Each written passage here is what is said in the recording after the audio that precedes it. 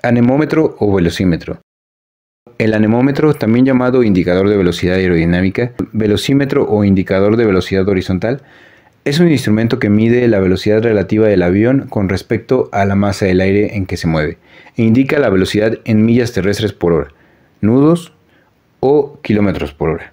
Este indicador de velocidad es en realidad un instrumento que de manera analógica calcula la velocidad del avión basado en la diferencia de presiones dinámica y estática y traduce el resultado en unidades de velocidad.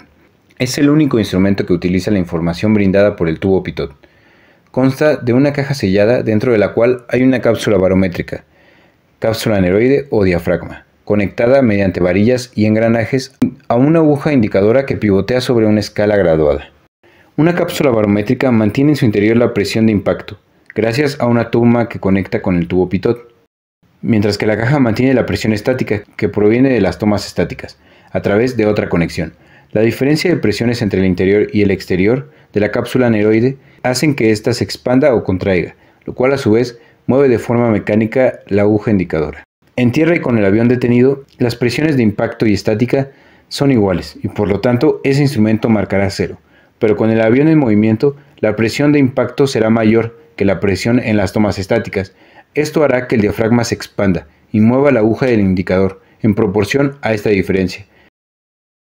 En la medida que el avión acelere o desacelere, el aumento o disminución de la presión hará que la aguja indique un incremento o disminución de velocidad. El indicador de velocidad se lee como un velocímetro de un auto común, con la diferencia de que tenemos diferentes velocidades marcadas por código de colores, que se leen de la siguiente manera. Arco blanco corresponde al rango de velocidades de operación con flaps desplegados. Arco verde corresponde al rango de velocidades de operación normal. Arco amarillo corresponde al rango de velocidades de precaución. Línea roja corresponde a la velocidad de nunca exceder. Arco blanco representa la velocidad de funcionamiento normal de la aeronave, con flaps extendidos. Este arco sirve como guía para las velocidades durante las operaciones con flaps extendidos, evitando daño estructural de la aeronave.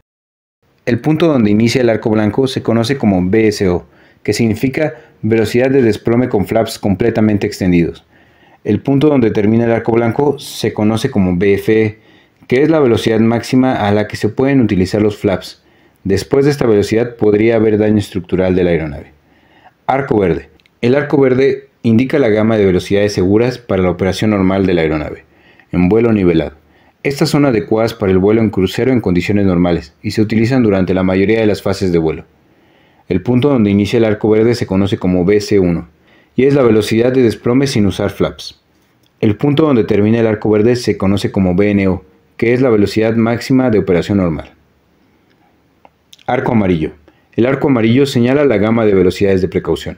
Las velocidades dentro del arco amarillo deben manejarse con precaución, pueden indicar velocidades cercanas a los límites estructurales de la aeronave o pueden estar asociadas con turbulencias moderadas. Los pilotos deben evitar maniobras bruscas o cambios de velocidad repentinos cuando se encuentran en este rango. Línea roja. La línea roja representa la velocidad de nunca exceder. Superar la velocidad indicada de la línea roja puede resultar en daños estructurales, graves o pérdida de control de la aeronave. Es imperativo que los pilotos eviten operar la aeronave a velocidades por encima de este límite en cualquier condición. Velocímetro y viento relativo.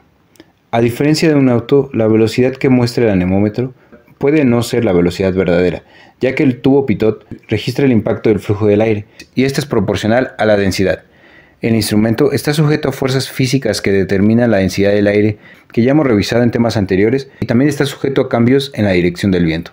Por ejemplo, si el viento sopla de cola, la velocidad registrada será menor a la verdadera. Si el viento sopla de frente, la velocidad indicada será mayor. Y si el viento sopla cruzado, también podría indicar una velocidad menor a la real. Estas son condiciones a tener en cuenta. Sin embargo, revisaremos las diferentes velocidades en el tema de navegación.